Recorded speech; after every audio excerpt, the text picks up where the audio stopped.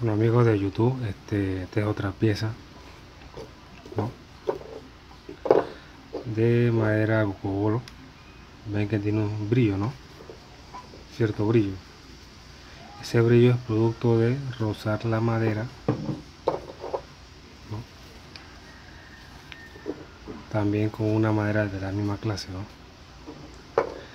Adicional eh, para lo que es para pulir dice esto. Esto me funciona a mí para pulir para darle brillo a esta madera no recuerden que esta madera es distinta a la demás por su composición.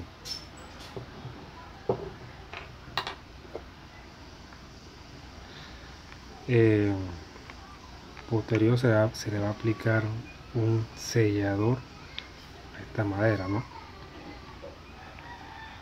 para que agarre más, más brillo